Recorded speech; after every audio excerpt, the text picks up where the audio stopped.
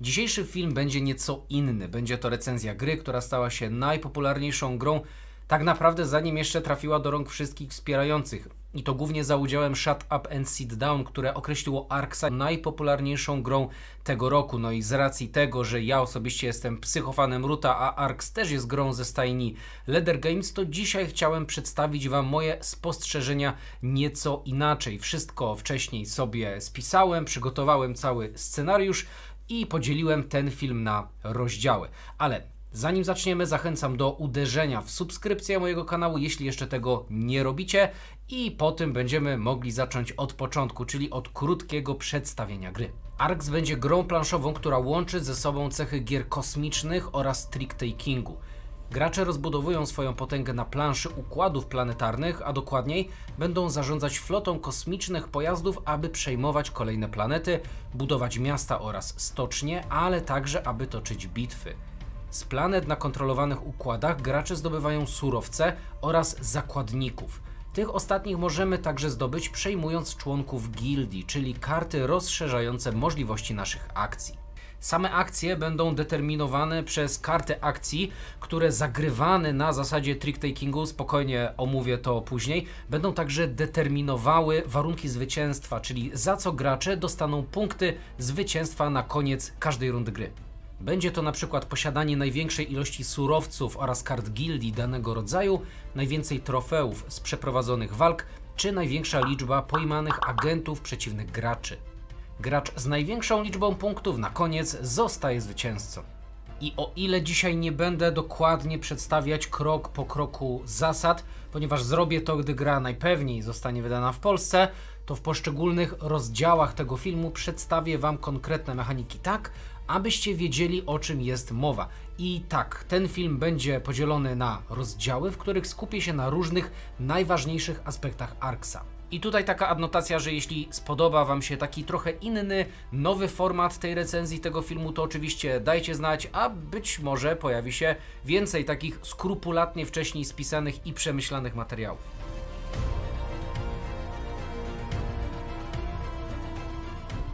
Karty akcji w ARX posiadają dwie ważne cechy. Po pierwsze jest to typ karty. Karty konstrukcji do budowania i naprawy budynków czy statków, karty administracji do pobierania surowców z planet, naprawy i umieszczania naszych agentów na kartach gildii, karty mobilizacji potrzebne do ruchu i także umieszczania agentów oraz karty agresji do ruchu, walki oraz zabezpieczania kart gildii z największą liczbą naszych agentów. Każda karta ma także numer oraz liczbę gwiazdek, czyli punktów determinujących ile akcji możemy wykonać za pomocą takiej karty. O ile? No właśnie o ile. I tutaj wchodzi w grę wyżej już wspomniany trick taking. Gracz posiadający inicjatywę zagrywa zawsze kartę wiodącą, którą inni muszą albo przebić kartą z wartością w tym samym kolorze i wykonać komplet akcji, albo skopiować ją i wykonać z wiodącej karty jedną akcję, lub olać ją i wyłożyć inną kartę, ale wykonując z niej także tylko jedną akcję. Wiodąca karta może także ustalić warunek punktowania w oparciu o wartość karty, czyli o jakie elementy i surowce będziemy walczyć, aby zdobyć punkty na koniec danego rozdziału. I tutaj w grze, a tak naprawdę na początku naszej przygody w ARX, mogą pojawić się pewne zgrzyty. Shut Up and Sit Down porównało ARXowy trick-taking do tańca i ja postaram się rozwinąć to porównanie w następujący sposób. Tak, mechanika zagrywania kart i dopasowywania się do wiodącej karty po losowym dociągu kart na rękę jest jak taniec. Taniec koślawy, taniec nie do rytmu, taki, w którym potykamy się o własne nogi i nie czujemy z niego absolutnie żadnej przyjemności, a jedynie frustrację. Frustrację z tego, że dobraliśmy rękę takich samych typów kart, że mamy niskie wartości na nich, że nie jesteśmy w stanie przejąć inicjatywy. I po pierwszej partii w Arksa ja osobiście byłem wściekły patrząc na ilość akcji, która mi przepada, ucieka między moimi palcami ponieważ nie miałem na nich ani wysokich wartości, ani nie potrafiłem przejąć czy utrzymać inicjatywy przez większość gry. I wielu moich znajomych miało takie same przemyślenia, które potwierdziły się na zagranicznych forach. Każda ręka kart w ARX to zła ręka, albo tak jak my to nazwaliśmy, każda ręka w ARX Dlatego też pierwsze wrażenia mogą naprowadzić na dużą niechęć do tej gry i na okrutną losowość, z którą trzeba walczyć. Z kolejnymi jednak rozgrywkami widzimy, że zamiast walczyć, lepiej dopasować się do tego tańca, wsłuchać się w rytm kosmicznej muzyki oraz otworzyć oczy na możliwości, które daje nam, no właśnie, z pozoru ta ręka. Karty o niskiej wartości, dające wiele akcji, co prawda nie zapewnią nam często inicjatywy. Do tego musimy przebić kartę wiodącą w tym samym kolorze, kartą o wyższej wartości niż inni gracze, ale możemy ich użyć w kluczowym momencie. Gdy wiodąca karta ustala warunek punktowania, jej wartość zmienia się na zerową. I to jest właśnie moment dla nas. To jest moment, w którym skrupulatnie kitrana, zachowana dwójka może teraz wejść do gry i może odpalić cały silniczek akcji. Wykorzystamy wtedy z niej wszystkie akcje i na planszy będzie dział się absolutny chaos. W zależności od zagranej karty może to być duża zmiana sytuacji w tym, co dzieje się aktualnie na planszy, albo w tym, co aktualnie dzieje się na kartach gildii. No i oczywiście zawsze możemy przepalić jedną dodatkową kartę, aby przejąć prowadzenie. Możemy także użyć efektu z wielu innych kart gildii, aby także przejąć tę inicjatywę. Musimy jednak być szybsi od innych, ponieważ już raz zaklepane inicjatywy w danym rozdaniu nie można dalej przejmować. Naszym dodatkowym atutem może być po prostu nasza pamięć. Pamięć o tym, jakie karty w poprzednich turach i przede wszystkim o jakiej wartości zostały już przemielone przez innych graczy. Czasami zagrana dwójka czy trójka nie znajdzie kontry w postaci wyższej karty tego samego koloru, jeśli było ich wcześniej sporo w obiegu i pozwoli nam, bardzo rzadko, ale czasami się tak zdarza, pozwoli nam utrzymać się w inicjatywie. I oczywiście nie zauważymy wszystkich zależności po pierwszej rozgrywce, czy nawet dwóch czy trzech, oraz oczywiście zdaję sobie sprawę z tego, że czasami trafi nam się złe rozdanie, trafi nam się zła ręka, z którą co prawda zrobimy coś, zrobimy cokolwiek, ale kosmicznego świata z nią nie podbijemy. Z czasem Niestety, ale będziemy musieli przestawić się na zaakceptowanie jednej bardzo ważnej zasady w tej grze. Jedna karta, jedna akcja. Nie uważam jednak, że arksowy trick-taking tę grę psuje. Absolutnie nie. Nie uważam także, że wprowadza on niezrozumiałą i wkurzającą losowość. Jest to po prostu cecha tej gry, jedna chyba z najważniejszych, którą trzeba poznać. Ale jak już ją poznamy i dopasujemy się do niej, to ten taniec nie będzie już koślawy i nie do rytmu, ale bardzo płynny i dający masę możliwości i satysfakcji. Wspomniałem o różnych warunkach punktowania. Gracz zagrywający kartę wiodącą może zadecydować o ustanowieniu celu związanego z wartością karty. Każda wartość karty oprócz jedynek oraz siódemek, które pojawiają się w grze na 4 graczy, jest powiązana z innym, konkretnym celem. Trzy z pięciu warunków punktowania tyczą się posiadania największej ilości konkretnych surowców. Gracze, którzy pośród zdobytych żetonów oraz symboli na zabezpieczonych kartach gildii posiadają ich najwięcej, zdobywają punkty odpowiednio za pierwsze oraz drugie miejsce na koniec rozdziału. Kolejny cel wiąże się z trofeami, bowiem zniszczone statki, zburzone miasta oraz zabici agenci podczas plądrowania dworu liczą się właśnie jako trofea. Kolejny, a zarazem ostatni cel punktowania tyczy się porwanych agentów innych graczy. Pozyskujemy ich na różne sposoby, między innymi zabezpieczając karty gildii, na których właśnie tacy agenci przeciwników się znajdowali. I z pozoru proste do wykonania cele wiążą się zawsze z jakimś wyrzeczeniem, bowiem zebrane surowce mogą zostać przepalone do wykonywania dodatkowych akcji. Za ich pomocą możemy wykonać dodatkowy ruch, budowę, dodać możliwości walki do naszej karty akcji, czy skopiować akcję wiodącą. I to wszystko przed wykonaniem akcji z naszej zagranej karty. Jeśli dobrze pomyślimy, jak połączyć te rzeczy, możemy natychmiastowo popsuć czyjeś plany, zabezpieczyć pożądaną kartę, obstawić kluczowe puste miejsca na planszy. Czasami więc użycie tych prostych żetonów i akcji w połączeniu z naszymi głównymi akcjami będzie kluczowe, żeby plan na całą rozgrywkę się powiódł. Ale uwaga, czasami też wydane surowce nieprędko do nas wrócą. Zasoby w ARX są bowiem okrutnie ograniczone i co z tego, że nasze planety produkują na przykład relikty, skoro reliktów w obiegu nie ma. Tutaj jest kolejne nie tyle wyrzeczenie, co niebezpieczeństwo posiadania dużych składów jednego typu surowca u siebie. W takiej sytuacji będziemy przez cały czas zagrożeni atakiem wrogów na nasze układy, ponieważ ci będą mogli chcieć odebrać nam niezbędne surowce siłą. Inne cele także obarczone są dalszymi niebezpieczeństwami, na przykład chcąc zabezpieczać karty z innymi agentami, żeby później ich przejąć, a nie te puste, narażamy się innym graczom, narażamy się na to, że inny gracz odpali sobie skrupulatnie wcześniej kitrany silniczek wystawiania agentów oraz zabezpieczenia kart. I tak naprawdę to my, chcąc przejąć czyichś agentów, narażamy się na to, że to nasi agenci wylądują w lochach u przeciwnika. No i z wojną, jak to z wojną? Z kultowych gier wiemy, że wojna nigdy się nie zmienia. Jeśli chcemy mieć trofea i to dużo trofeów, będziemy ponosić straty, czasami nawet bardzo duże, często odsłaniając swoje zaplecze budynków na kontrataki, ale także jedną nieudaną walką możemy dać zwycięstwo wojny swojemu rywalowi.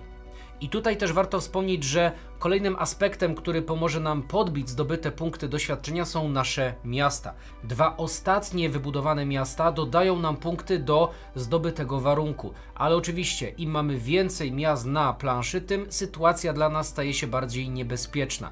Wrogowie mogą chcieć najeżdżać i plądrować czy podatkować nasze miasta, no i oczywiście nie będziemy mieli zazwyczaj wystarczającej floty, żeby wszystkich miast bronić. I na sam koniec na białym koniu wjeżdża jedna z moich ulubionych konsekwencji wojny. Największe ryzyko plądrowania i burzenia miast, czyli przewroty bądź skandale, w oryginale Outrage.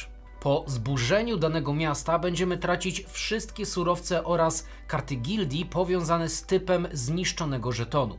Oczywiście zdobędziemy zapewne dodatkowe karty gildii, weźmiemy agentów przeciwnika jako trofea, a nawet będziemy w stanie ukraść jego surowce i karty gildii. Ale dodatkowo będziemy mieli zablokowaną możliwość używania surowców typu zniszczonej planety na wykonanie dodatkowych akcji do samego końca gry. I wiem, zdaję sobie sprawę z tego, że wiele kart gildii będzie olewało to ograniczenie, ale o nich później.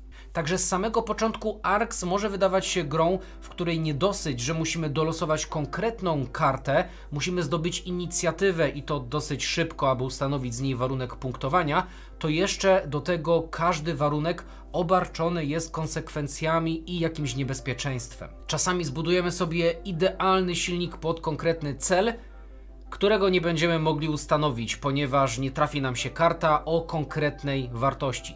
W grze na czterech graczy jest tutaj trochę inaczej. Wiodącą siódemką można zadeklarować dowolny cel, a jedynką nie można zadeklarować żadnego celu. Czasami wręcz będziemy zmuszeni tutaj do negocjacji i będziemy obiecywać złote pantalony temu z graczy, który wyłoży dla nas odpowiednią kartę na punktowanie. Po czasie jednak zobaczymy pewne zależności, zauważymy, że czasami trzeba skorzystać z chwilowej okazji, pójść w strategie i cele, których nie zakładaliśmy na początku gry czy na początku rozdziału. Czasami z pozoru jeden mały wypad dwoma statkami na cudze miasto i skuteczna kradzież może zmienić lidera w punktowaniu jakiegoś warunku. I to wszystko wiąże się z rzeczą, która tutaj mi się absolutnie podoba. Arx jest grą, w której jeśli będziemy chcieli ciągnąć wszystkie sroki za ogon, to może się okazać, że na koniec gry będziemy mieli całe 0 punktów zwycięstwa. Na samym początku wydawało mi się, że karty gildii są przegięte. I to bardzo. Każda karta bowiem rozszerza wachlarz naszych kosmicznych możliwości.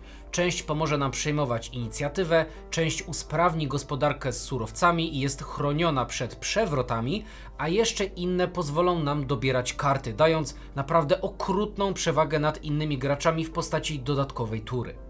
Są także karty, które będą pomagały nam w walce. Między innymi strażnicy bram dodają aż dwie kości przy atakowaniu w bramach, czyli środkowej strefie planszy, ale możemy ich zużyć, żeby natychmiastowo rozrzucić na wszystkich układach bram swoje statki. Nie sposób tutaj omówić wszystkich zależności i efektów, ale na pierwszy rzut oka gracze mówią to samo. Karty na pierwszy rzut oka są albo przegięte, albo bezużyteczne. To się wiąże oczywiście z naszą strategią. Czasami efekt karty co prawda nam niewiele pomoże, ale będziemy starali się zabezpieczać, przejmować takie karty, bądź później też kraść je od innych graczy, ponieważ to nawet z pozoru słaba karta gildii we właściwych rękach może siać spustoszenie w kosmosie. Wyobraźcie sobie na przykład, że jakiś gracz zabezpieczył się na planszy, zdobył masę surowców jednego typu oraz pasujących agentów, oraz posiada kartę, dzięki której może deklarować ambicje, czyli ten warunek zwycięstwa, nawet jeśli nie zagra on karty wiodącej. Może to się skończyć w rzadkich przypadkach sytuacjami, gdzie dwie trzecie punktów potrzebnych do zwycięstwa zdobędzie on w jednej rundzie gry, a pozostali absolutnie nic. Oczywiście więc posiadanie dobrego silniczka kart gildii może znacząco wpłynąć na wynik rozgrywki, ale tak samo jak w przypadku Ruta, gracze muszą nauczyć się współpracować ponad podziałami, aby hamować tego najsilniejszego.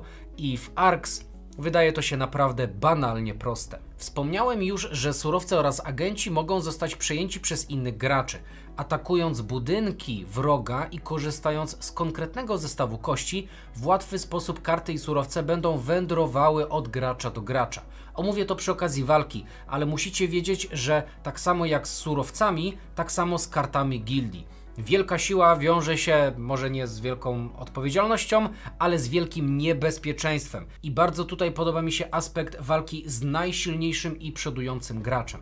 Może bowiem się okazać, że ogromna potęga z silnikiem z pozoru nie do ruszenia jest jedynie kolosem na glinianych nogach.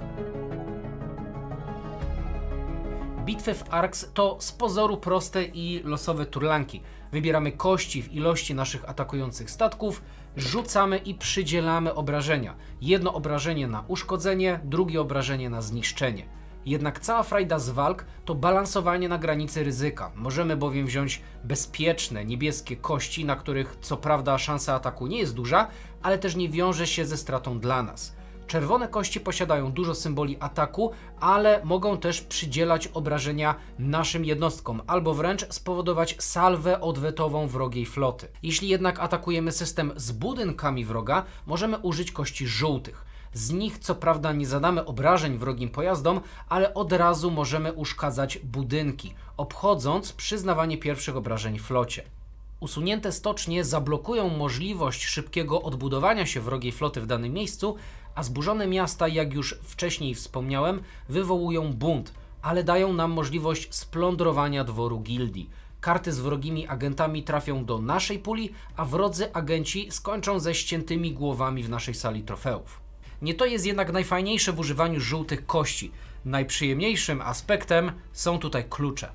Za wyrzucone symbole kluczy mamy możliwość kradzieży surowców czy kart przeciwnika. Nieważne jak bardzo owe budynki były chronione. Po prostu wlatujemy ekipą wypadową, zabieramy to co możemy i tyle. I piękne w tej grze są sytuacje, w których wskakujemy dwoma czy trzema statkami do systemu wroga tylko po to, aby ukraść mu kluczową kartę gildii czy surowiec, niwecząc jego szanse na wygraną. Nawet jeśli nasza ekipa wypadowa jest skazana na natychmiastowy odwet i zagładę. I oczywiście zdarzało się wiele, wiele razy, że dany członek gildii zmieniał swoich właścicieli po 4-5 razy w grze, ale takie akcje utrzymują emocje i napięcie przez całą rozgrywkę. I to niekiedy może rodzić takie filmowe sytuacje i momenty, które sami sobie dopowiadamy po rozgrywce, wspominając epickość danej partii. Ze sztuką i z gustem jest tak jak z tą dolną częścią pleców, która traci swoją szlachetną nazwę. Każdy ma swoją. Do niektórych grafiki pana Ferina nie trafiają, będą dziecinne. Dla innych styl Ruta, Vasta czy Oath tak bardzo zapadł w pamięć, że nie odnajdą się w ferinowskim sci-fi.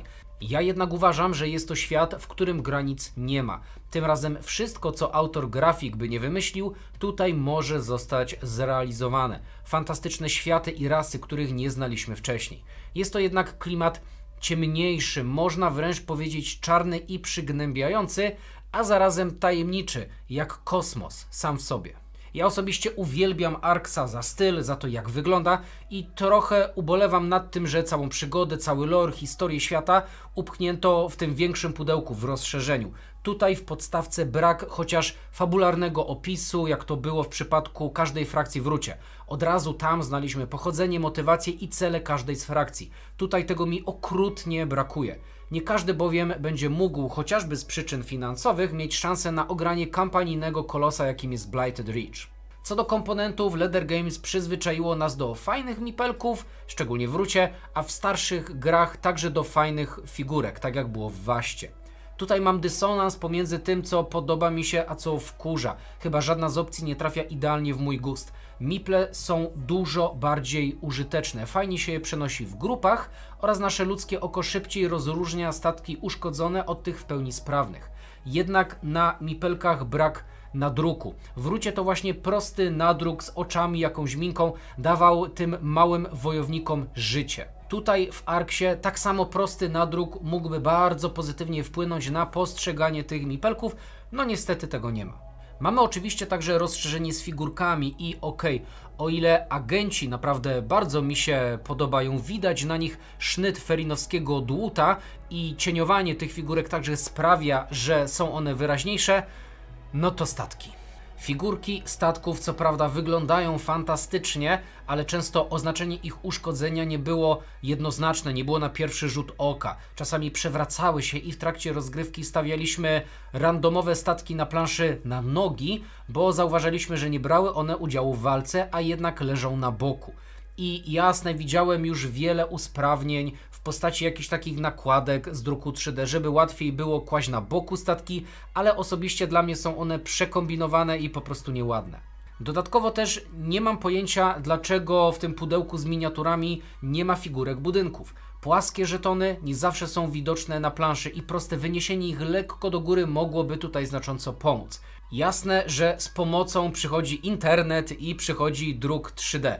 Internet w tym momencie jest pełen fanowskich projektów do druku, ja nawet sam takie posiadam, ale uważam, że jest to problem, szczególnie z tymi budynkami, które Leather Games powinno rozwiązywać, a nie fani. Koniec końców z dwojga, nie wiem czy złego, czy niezłego, ja wybieram figurki, ponieważ ładniej prezentują się na planszy, a całą resztę bajerów mogę sobie wydrukować na mojej drukarce. Na koniec creme de la creme, czyli to co fani Ruta oczekiwali, czyli karty, które wprowadzają asymetrię. Po kilku pierwszych rozgrywkach będziemy mogli wprowadzić do gry karty liderów oraz karty lore. Liderzy dadzą nam dodatkowe, bardzo mocne zdolności, ale zawsze jakimś kosztem. Dla przykładu, mistyk znacząco wspomoże naszą gospodarkę reliktami, ale na dzień dobry zaczyna z dwoma zablokowanymi miejscami na używanie surowców. Inny z liderów częściej umieszcza agentów na kartach gildii, ale zabezpieczenie tych kart będzie dla niego utrudnione.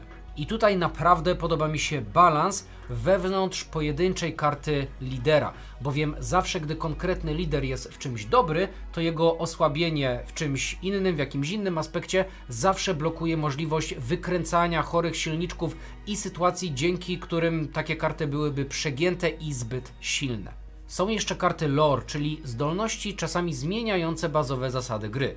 Dla przykładu, będziemy mogli budować stocznie czy miasta nie tylko na układach, ale także w bramach, potencjalnie będąc bardziej odsłoniętymi na ataki z zewnątrz. Z kartami lore jest trochę jak z kartami gildii. W odpowiednich rękach wydają się przepotężne i wywalające wręcz balans gry.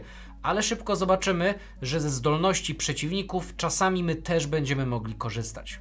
Bowiem co z tego, że przeciwnik pobiera surowce z dowolnej planety wszystkich układów jednego klastera, mając miasto w bramach, skoro jeśli to my przejmiemy taki układ, my będziemy korzystać z jego zdolności. I tutaj chciałem też ponarzekać i wspomnieć, że Wydaje mi się, że dodatek z kolejnymi liderami i kartami lore mógłby od razu znaleźć się w podstawowej zawartości, a nie w takim małym dodatku.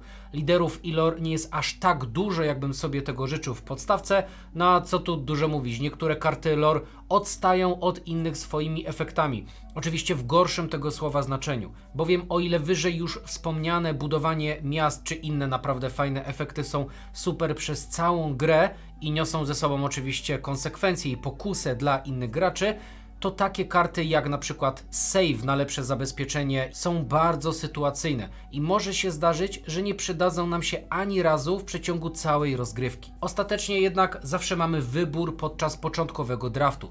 W pierwszej kolejności wybrać fajnego lidera i pozornie słabszą kartę lore, albo odwrotnie. Do tej pory jeszcze nie spotkałem się, aby ktoś w 100% nie był zadowolony ze swoich wyborów. Całościowo więc oceniam wprowadzenie asymetrii graczy naprawdę na bardzo duży plus, bowiem też jest to dodatkowa rzecz, która nie musi być obowiązkowa dla tych, którzy za taką asymetrią nie przepadają. Fani asymetrii po jednej rozgrywce z liderami oraz z kartami lore najprawdopodobniej do zwykłej rozgrywki już więcej nie powrócą. No i teraz podsumowując to wszystko, czy ARX jest najlepszą grą 2024 roku i czy jest najlepszą, czy będzie najlepszą grą w ogóle? No na razie ciężko mi to stwierdzić najlepszą grą w ogóle, Ever zapewne nie będzie, ARX raczej nie pobije Ruta na głowę, chociaż mamy bardzo zbliżone odczucia z rozgrywek w oba te tytuły. Co do najlepszej gry tego roku, ARX ma kilka naprawdę niezłych konkurentów, m.in. wojnę o Arakis, no rok się jeszcze nie skończył, ale nie zdziwię się jak właśnie na koniec tego roku wybierzemy ARXa jako najlepszą grę 2024. Mamy tutaj bowiem wszystko, co lubimy w grach planszowych. Mamy asymetrię, mamy fajny klimat, grafiki Kyla Ferina, mamy głębie strategii, ale to, co przede wszystkim lubimy najbardziej, hamówę pomiędzy graczami i grę nad stołem. I tutaj nawet mogę pokusić się o stwierdzenie, że Ark robi coś dużo lepiej od Ruta. Każda potęga w tym galaktycznym uniwersum jest chwilowa. Na każdego, nawet największego diabła, bez problemu znajdą się odpowiednie widły. I jeśli ktoś znacząco góruje nad innymi graczami, to znaczy po prostu, że mu na to pozwoliliśmy.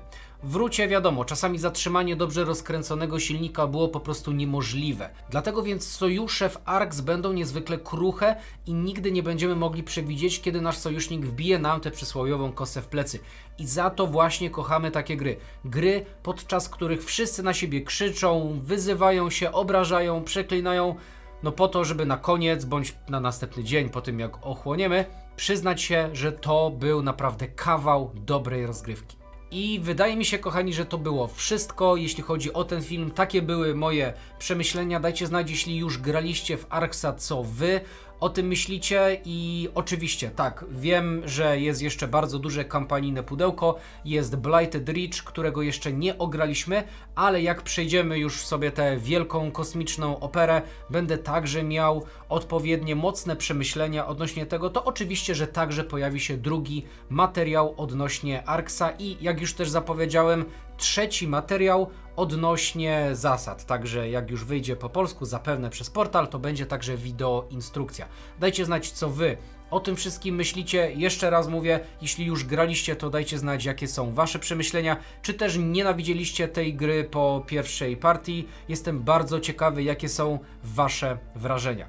A na dzisiaj to by było wszystko. Na sam koniec, jak zawsze, chciałem bardzo serdecznie podziękować naszym kochanym patronom za to, że nas wspieracie. Bez Was oczywiście funkcjonowanie tego kanału nie byłoby tak sprawne. Dziękujemy jeszcze naszym partnerom, no i przede wszystkim, co jest najważniejsze chyba, dziękuję Wam za to, że oglądaliście ten materiał. Jeszcze raz dziękuję i do zobaczenia w kolejnym materiale. Na razie, hej.